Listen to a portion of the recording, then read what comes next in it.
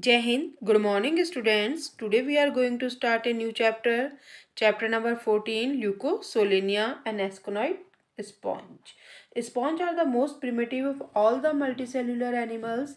They are included in phylum Porifera, referred to as spores, bear, bearers, since their body consists of numerous tiny pores okay कि Porifera के जो animals होते हैं, उनकी body पर pores present होते हैं और इसलिए इन एनिमल्स को क्या कहा जाता है? इनको पॉरीफेरा में रखा जाता है, ठीक है? तो Leucosolenia is the one of the simplest sponge सबसे पहले इसका क्लासिफिकेशन देखिए कि ल्यूको इसमें ल्यूकोसोलेनिया का क्लासिफिकेशन है। फाइलम पॉरीफेरा का एनिमल है, class Calcarea, order Homocoelia and genus है इसका, ल्यूकोसोलेनिया। ओके ल्यूकोसोनेलिया जो है, एनिमल कैसा है ये? एंड ल्यूकोसोलेनिया जो है, कॉलोनियल है, ससाइल एनिमल होता है, मेराइन वाटर में ये पाया जाता है, ठीक है? और वाटर में भी कहाँ पर रहता है ये? शैलो वाटर में ये एनिमल जो है पाया जाता है और about hundred species are known all over the world. Okay, ये देखिए इसका स्ट्रक्चर है। दिखाई दे रहा है अपन को ल्यूकोसोलिनिया का स्ट्रक्चर एक को, इसकी पूरी कॉलोनी जो है अपन को दिखाई दे कि इसका जो ये बेसल पार्ट होता है ना, ये जो ट्यूब नीचे ट्यूबलाइक स्ट्रक्चर के रूप में प्रेजेंट होता है ये, और इसकी ये क्या कहलाता है, ये पार्ट जो होता है ना, इसका स्टोलन कहलाता है। ओके, समझ में आ गया? अब देखिए इसका स्ट्रक्चर एंड मार्फोलॉजी कि ल्यूकोसोलिनिया जो है ट्यूबलाइक एनिमल होता है। इसका स्ट्रक्चर वाइट कलर का होता है या येलो इन कलर ठीक है? रेडियल सिमेट्री पाई जाती है वॉश शिफ्ट होता है ये।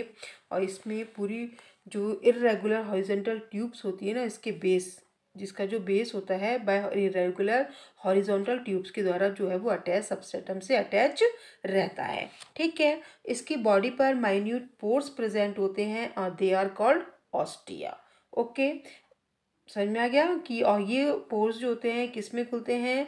एक कैविटी में खुलते हैं सेंट्रल कैविटी और that is called spongocoel okay अब नेक्स्ट हिस्टोलॉजी हिस्टोलॉजी में इसकी जो बॉडी होती है body wall two cellular layers की बनी हुई होती है, आउटर लेयर जो होती है, प्रैकोडम कहलाती है, एंड इनर लेयर जो होती है कॉर्नरडम होती है, और इन दोनों के बीच में इसमें मिजन काइम की लेयर जो होती है, इसके बीच में प्रेजेंट होती है। तो फ़र्स्ट इज़ द होती पिनाकोडम पिनाकोडम जो होती है, outer covering of the body, okay embryonic ectoderm से ये डेवलप होती है और इसमें जो सेल्स होती हैं पिनेकोसाइट सेल्स इसके अंदर प्रेजेंट होती है और ये सिंगल लेयर की बनी हुई होती है। ठीक है? अब इसके बाद देखिए कि इसके बाद सेकंड जो होती है, इसमें इनर लेयर जो होती है, क्या कहलाती है? कॉइनोसाइट कॉइनोडम सॉरी कॉइनोडम कहलाती है।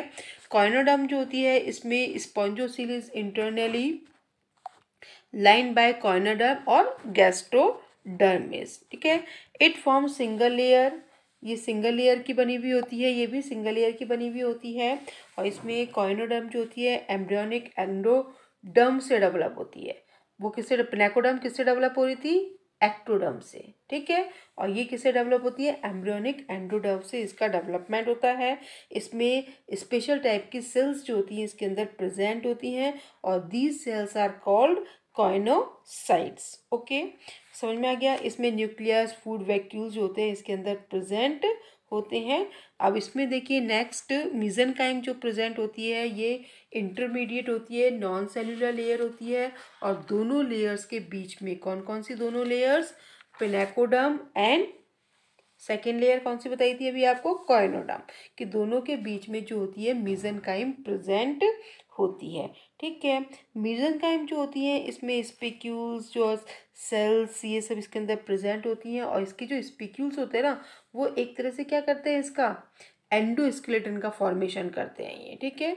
कि इसके एंडोस्केलेटन का फॉर्मेशन करते हैं, इसमें स्पेशल टाइप की सेल्स एमिबॉइड सेल्स जो होती हैं इसके अंदर प्रेजेंट होती हैं। अब ये एमिबॉइड सेल्स जो होती है ना, वो कई इंपॉर्टेंट फ़ंक्शंस जो होती है ना इसके अंदर करती हैं और इनके फ़ंक्शन के अकॉर्डिंग जो होती है ना ये डिफरेंट टाइप के सेल्स जो होती है इनके अंदर पाई जाती है। अब देखिए कौन कौन सी एमिबाइड सेल्स जो होती है इनके अंदर प्रेजेंट होती हैं इसमें देखिए, सबसे पहले तो क्या होता है इनमें आर्क्योसाइड्स ओके कि आर्क्योसाइड्स जो सेल्स होती हैं ये सेल्स जो होती हैं इनकी जो जर्म सेल्स होती है ना, उनका फॉर्मेशन जो होता है आर्क्योसाइट्स के द्वारा ही किया जाता है। इनमें सूडोपोडिया जो होते हैं स्मॉल होते हैं और इनमें न्यूक्लियस जो होता है, बड़ा होता है और आरएनए भी इनके अंदर प्रेजेंट होता है, ठीक है? और इनको एम्ब्रियोनिक रिज़र्व सेल के नाम से भी इनको जाना जाता है। सेकंड जो होती है इनके अंदर क्रोमोसो साइट सेल्स जो होती हैं इसके अंदर प्रेजेंट होती हैं और इनके साइटोप्लाज्म में क्या होता है? पिगमेंट सेल्स जो होती है इसके अंदर प्रेजेंट होती हैं। फिर थीसोसाइट सेल प्रकार की होती है? इनमें थीसोसाइट क्या करती हैं कि जो इनका रिज़र्व फ़ूड है ना, उसको फ़ूड को क्या करती है? स्टोर करने का काम करती हैं। इसके बाद इनमें स्क्लेरोब्लास्ट सेल्स प्रेजेंट होती हैं। स्क्लेरोब्लास्ट सेल्स क्या करती हैं? एक तरह से ये क्या, कौन सी सेल्स होती है? स्केलेटल सेल्स होती हैं। ठीक है? और ये स्पिक्यूल्स का फॉर्मेशन करती हैं ये। कैल्शियम कार्बोनेट की बनी हुई होती है, स्पिक्यूल्स का फॉर्मेशन ये करती हैं। ठीक है, समझ में आ गया? इसके बाद इसमें मायोसाइट सेल्स प्रेजेंट होती हैं फाइबर लाइक स्ट्रक्चर होती हैं ग्लैंड सेल्स प्रेजेंट होती हैं, जो कि म्यूकस का सिक्रीशन करती हैं। ठीक है ट्रोफोसाइट सेल्स प्रेजेंट होती हैं, जिनको नर्स सेल भी कहा जाता है, और ये न्यूट्रिशन से रिलेटेड होती हैं। ठीक है, समझ में आ गया आपको? अब इसके बाद देखिए नेक्स्ट इसके अंदर है कैनाल सिस्टम कि ल्यूकोसोनेलिया जो है एनिमल इसमें सबसे सिंपल टाइप का कैनाल सिस्टम जो है इसके अंदर पाया जाता है। और वो क्या कहलाता है? Ascon canal system okay ascon canal system जो होता है, सबसे सिंपल टाइप का कैनाल सिस्टम इसमें प्रेजेंट होता है, ठीक है? समझ में आ गया? अब इसमें देखिए कि जो एस्कनेट केनाल सिस्टम है, इसमें सबसे बाहर तो आउटर साइड पर इसमें क्या प्रेजेंट होते हैं? इससे पहले आपको याद होगा, अपन ने स्पॉन्ज पढ़ा था। स्पॉन्ज में आपको याद होगा, अपन ने देखा था उसका structure asconoid canal system outer side से वाटर एंटर करता है, किसके द्वारा? ऑस्ट्रिया के द्वारा वाटर एंटर करता है। फिर ये ऑस्टिया किसमें? इनकरेंट केनाल या स्पॉन्जो सील जो होती है, इसकी कैविटी सेंट्रल कैविटी में जाते हैं। सेंट्रल कैविटी जो होती है, उसमें से वाटर जो होता है ऑस्कुलम के द्वारा बाहर निकाल दिया जाता है। आउटसाइड पर इसको निकाल दिया जाता है। ये देखिए, इसका स्ट्रक्चर जो है आपको, यहाँ पर अपन को इसका स्ट्रक्चर जो है दिखाई दे रहा है। इस प्रकार से ठीक है? और इसका जो कैनाल सिस्टम है, सभी तरह के, किसके न्यूट्रिशन से भी रिलेटेड होता है ये, इसके एस्क्रीशन से भी रिलेटेड होता है और इसके रेस्पिरेशन से भी रिलेटेड होता है कि जितने भी फ़ंक्शन होते हैं, इसके वो सब कौन करते हैं? इसके कैनाल सिस्टम के द्वारा ही उनको कंट्रोल किया जाता है। ठीक है? समझ में आ गया? कि देखिए, इसमें वाटर जो है, इसमें ये, इसमें आपको ये दिखा रखे हैं पोर्स ऑस्टियम ठीक है, यहाँ से वाटर जो होता है इसके अंदर एंटर करता है। ये कैविटी है स्पॉन्जोसील स्पॉन्जोसील के द्वारा, ये देखिए ऑस्टियम दिख रहा है ना आपको? स्पॉन्जोसील के द्वारा पानी जो होता है, यहाँ पर स्पॉन्जोसील और फिर इसके बाद ये ऑस्क्यूलम दिख रहा है। कि ऑस्क्यूलम के द्वारा इस वाटर को यहाँ से, ये ऑस्क्यूलम यहाँ से इस वाटर को बाहर निकाल दिया जाता है। ठीक है, समझ में आ गया? अब इसके बाद देखिए इसमें कि इसका जो कैनाल सिस्टम होता है, उसमें क्या होता है? कंटिन्यूस वाटर करंट जो होती है बॉडी के अंदर एंटर करती रहती है, जिसके साथ इसका न्यूट्रिशन जो होती है, वो भी इससे रिलेटेड होता है कि वाटर के साथ जो फ़ूड मटेरियल्स आता है ना तो उस फ़ूड मटेरियल को क्या करते हैं? ये ले लेते हैं। ऑक्सीजन भी आती है तो रेस्पिरेशन ऑक्सीजन को डिफ्यूज़न के द्वारा तो क्या कर लिया जाता है? ले लिया जाता है उस वाटर करंट में से और उसमें कार्बन डाइऑक्साइड को छोड़ दिया जाता है। तो इसका जो वाटर करंट जो इसके थ्रू कैनाल सिस्टम के थ्रू आ रहा है, वो एक्सक्रीशन रेस्पिरेशन रिप्रोडक्शन न्यूट्रिशन सभी में हेल्प करता है, ठीक है? अब इसके बाद देखिए इसकी फिजियोलॉजी कि इसमें कौन कौन से फ़ंक्शन या कौन कौन से कार्य, सबसे पहले देखिए इसका लोकोमोशन कि लोकोमोशन जो होता है, इसके अंदर नहीं पाया जाता है। क्यों नहीं पाया जाता है? क्योंकि अभी अपन ने देख पड़ा था कि ल्यूकोसोलिनिया कैसा एनिमल है? ससाइल एनिमल है।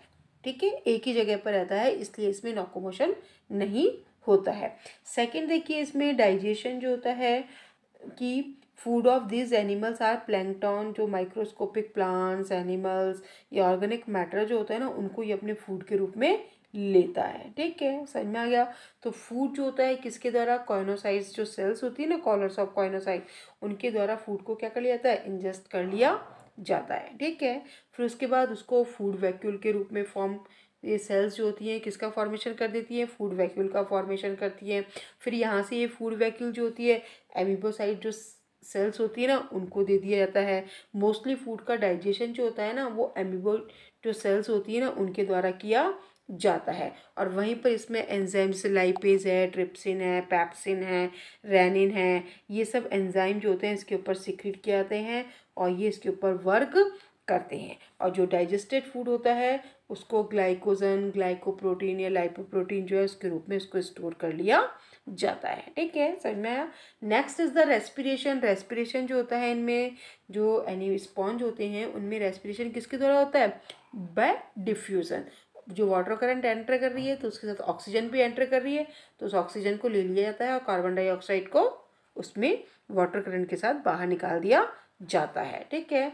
नेक्स्ट एस्क्रीशन एस्क्रीशन में भी होता है कि जो भी मेटाबॉलिक वेस्टेज जो होते हैं ना, वो जनरल बॉडी सरफेस के द्वारा, जो डिफ्यूज़न के द्वारा उनको बॉडी से बाहर निकाल दिया जाता है ऑस्क्यूलम के द्वारा उनको बाहर निकाल दिया जाता है। Next is the reproduction reproduction जो होता है इसमें एसेक्सुअल एंड सेक्सुअल दोनों टाइप का रिप्रोडक्शन जो है इसके अंदर पाया जाता है। एसेक्सुअल रिप्रोडक्शन जो होता है ब्रांचिंग और बर्डिंग के द्वारा इसमें किया जाता है। बर्डिंग जानते हैं आप, जिसको अपन क्या कहते हैं? मुकुलन कहते हैं। ठीक है? कि किस प्रकार से किया जाता है कि देखिए, इसमें सबसे पहले इसकी जो ये है स्टोलन ये बॉडी का जो पार्ट सबस्टेटम से लगा हुआ होता है बेसल पार्ट उसको क्या कहते हैं अपन? स्टोलन तो स्टोलन से क्या होता है? एक बर्ड जो है, इसके अंदर फॉर्म होती है। ये बर्ड जो होती है धीरे धीरे क्या करती है? ग्रो करती है। ठीक है? ग्रो करने के बाद ये जब बर्ड इसमें ऑस्कुलम का और कैविटी का जो डेवलपमेंट हो जाता है ना तो ये बर्ड क्या करती है कि जो मेन जो पेरेंटल बॉडी है, उससे सेपरेट हो जाती है और सेपरेट होने के बाद एक न्यू इंडिविजुअल को ये फॉर्म कर लेती है। ठीक है? समझ में आ गया? इसी प्रकार से देखिए कि इसमें जो ब्रांचेस है, ये एक तरह से रीजनरेशन कि स्पॉन्ज जो है, इसमें ल्यूकोसोलेनिया में रीजनरेशन की कैपेसिटी जो होती है, इसके अंदर पाई जाती है। ठीक है, समझ में आ गया? तो इसी प्रकार से इसमें क्या होता है कि इसमें जैसे कॉलोनी से क्या होता है कि जैसे कॉलोनी का कोई पार्ट टूटकर अलग हो गया स्पॉन्ज का कोई पार्ट टूटकर अलग हो गया, ठीक है? तो वो पार्ट क्या करता है कि एक नए सिलेंडर वॉशेप स्ट्रक्चर में क्या होता है डेवलप हो जाता है, ठीक है? और सेपरेट इंडिविजुअल को फॉर्म वो करता है। समझ में आ गया? ये था एसेक्शुअल रिप्रोडक्शन अब देखेंगे अपन सेक्सुअल रिप्रोडक्शन की ल्यूकोसोनेलिया जो है मोनोशियस एनिमल है, ठीक है? इसमें मेल और फीमेल जो होते हैं, एक ही एनिमल के अंदर होते हैं। समझ में आ गया? लेकिन इसमें जो मेल गैमिट और फीमेल गैमिट समझ में आ गया? कि मेल और, कि मेल और फीमेल जो होते हैं, एक ही एनिमल में होते हैं सेम इंडिविजुअल में, लेकिन इसमें मेल गैमिट और फीमेल गैमिट जो होते हैं अलग अलग होते हैं। उनका फॉर्मेशन जो होता है, इसके अंदर पाया जाता है। और दोनों मेल गैमिट कौन से होते हैं? Sperm and female gamete ovum तो दोनों का फॉर्मेशन जो होता है, एक ही स्पॉन्ज के अंदर होता है। ठीक है? समझ में आ गया? तो इस तरह से कैसे एनिमल हो गया ये? हर मैफ्रोडाइट एनिमल्स जो हो गया हो गया। अब इसमें देखिए कि दोनों में मेल और फीमेल में गैमिट का फॉर्मेशन हो गया स्पर्म एंड ओवम में फर्टिलाइजेशन हुआ। आफ्टर फर्टिलाइजेशन इसमें डेवलपमेंट स्टार्ट होता है, ठीक है? फर्टिलाइजेशन के बाद इसमें जायगॉट का डेवलपमेंट होता है। जायगॉट कैसा होता है इसका? डिप्लॉयड जायगॉट जो होता है, इसके अंदर पाया जाता है। फिर जायगॉट में क्या होता है? आफ्टर फर्टिलाइजेशन क्या होता है? क्लीवेज क्लीवेज स्टार्ट होता है क्लीवेज कैसा होता है इसमें? इक्वल होलोब्लास्टिक क्लीवेज पाया जाता है, फिर क्लीवेज के बाद क्या फॉर्मेशन होता है? ब्लास्टूला का फॉर्मेशन होता है। ब्लास्टूला कौन सा होता है इसके अंदर? सीलो ब्लास्टूला प्रेजेंट होता है। ठीक है? दो प्रकार के ब्लास्टोमियर फॉर्म होते हैं माइक्रोमियर एंड मैक्रोमियर और उनके बीच में कैविटी होती है ब्लास्टो सील उसके अंदर पाई जाती हैं, ठीक है? इसमें टू टाइप्स की सेल्स जो होती हैं, इसके अंदर डेवलप होती हैं, एक होती हैं flagellated cells and second is the non flagellated cells इसके अंदर पाई जाती हैं, समझ में आ गया? उसके बाद इसमें लार्वल का फॉर्मेशन होता है कि लार्वा जैसे एनिम ये आगे डेवलपमेंट होता है ना इसमें तो फ्लैजिलेटेड सेल होती है ना after entering lose their flagella ठीक है? कि कैविटी का फॉर्मेशन होता है, ठीक है? गैस्टूला का फॉर्मेशन होता है, फिर उसमें, इसमें गैस्टूला कौन सा? पैरनकाइम्यूला या स्टीरियोग्लास्टुलस के अंदर पाया जाता है। फिर ये पैरनकाइम्यूला जो लार्वल स्टेज होती है ना इसकी, इसमें ये फ्रीली क्या करता है? स्विम कर करता है और किसी भी attach by the anterior pole and develop into a flat plate with an irregular outline ठीक है? समझ में आ गया? फिर इसकी अमीबॉइड सेल्स जो होती हैं, वो क्या करती हैं? Interior from interior migrate outwards interior से माइग्रेट कहाँ कर रही है? आउटवर्ड्स बाहर की तरफ़ करती हैं। पेनेकोडर्म का फॉर्मेशन करती हैं। मीजन का फ्लैजिलेटेड सेल जो होती है कन्वर्ट इनटू कॉइनोसाइट और स्पंजोसिल कैविटी जो होती है, इसके अंदर डेवलप हो जाती है और spicules are secreted and epidermis develop several ostia okay और after few days larva is converted into adult asconoid sponge में वो चेंज हो जाता है। ठीक है स्टूडेंट्स ये देखिए, ये आपके हिंदी की पीडीएफ है बेटा। हिंदी में नोट्स हैं। ये आपके चैप्टर जो है ल्यूकोसोलेनिया कंप्लीट हो गया है। ओके